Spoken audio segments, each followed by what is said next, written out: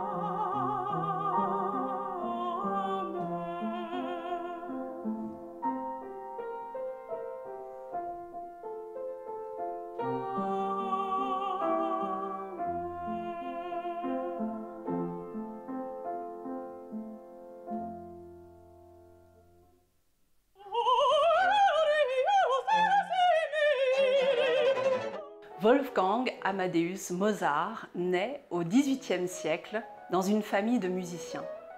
Son père, Léopold, est violoniste et compositeur et il enseigne le clavecin à sa sœur Nannerl.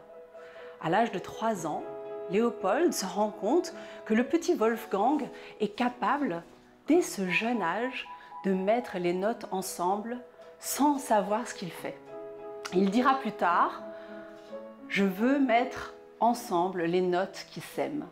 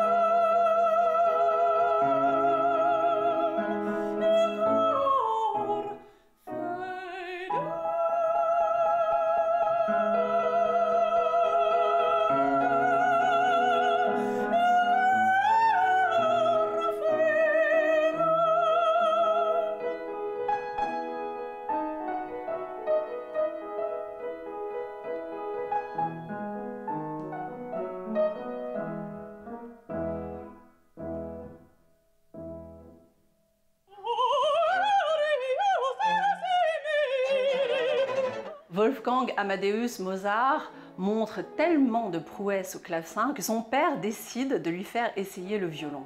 Mais cette fois-ci, il ne veut pas lui enseigner lui-même.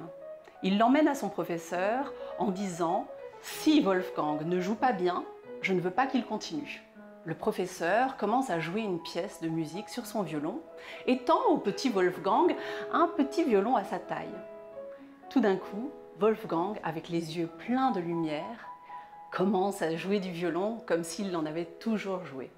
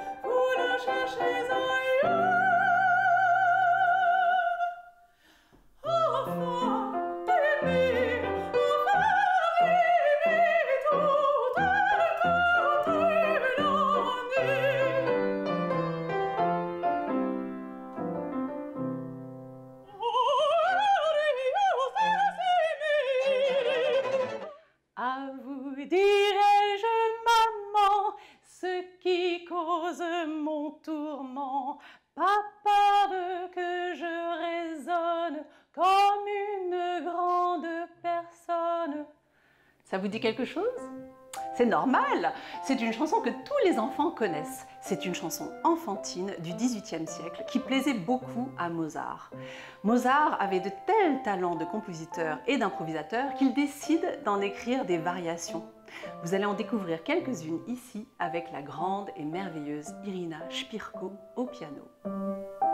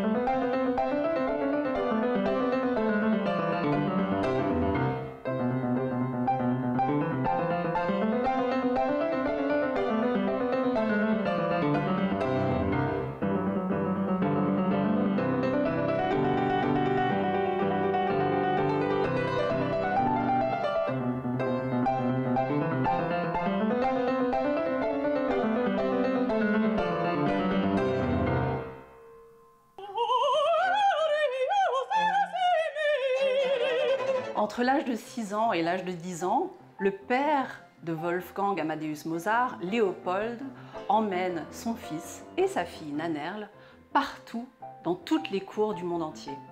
À l'âge de 10 ans, il est déjà célèbre sur tout le continent européen. Les gens sont surpris par sa prouesse. Ce petit garçon avec des tout petits doigts est capable de jouer par cœur, d'improviser. Il peut jouer n'importe quoi. Il est contemporain de la future reine de France, Marie-Antoinette. Elle a un an de plus que lui.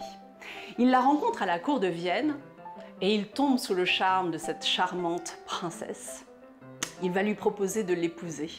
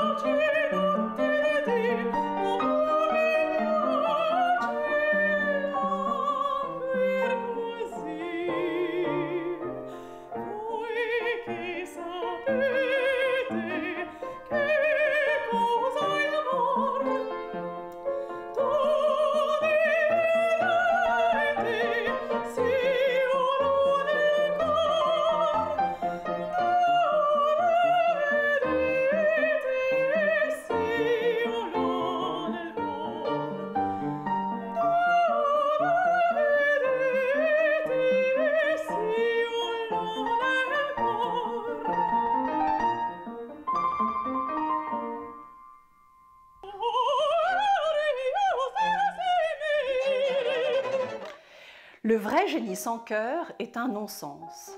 Ni intelligence élevée, ni imagination, ni toutes deux ensemble ne font le génie. Amour, amour, amour. Wolfgang Amadeus Mozart tombe amoureux facilement, surtout des très belles voix. Il rencontre une jeune soprano, Aloysia Weber, et sa voix est aussi pure que sa beauté il va tomber éperdument amoureux d'elle. Malheureusement pour Mozart, elle ne retournera pas ses sentiments.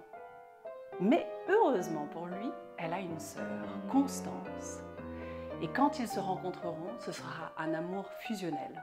C'est d'ailleurs grâce à Constance Weber que nous avons aujourd'hui plus de 600 partitions composées par le grand génie.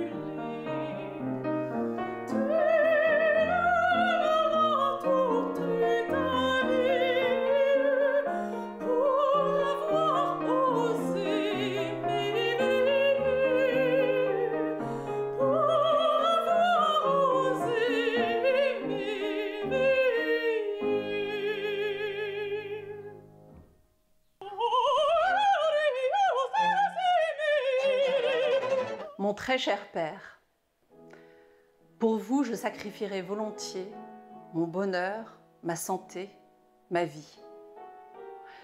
Outre le génie de Mozart, il était aussi quelqu'un avec des grands sentiments. Il ressentait autant la peine que la joie, le bonheur que la désolation. C'est quelque chose que l'on remarque à travers toutes ses partitions. Et grâce à lui, nous pouvons encore aujourd'hui vibrer avec toute la palette de sentiments qu'il a pu avoir. Je vous remercie d'avoir suivi ce Musica Classica sur Mozart et je vous souhaite qu'on se retrouve bientôt avec Mozart ou un autre compositeur.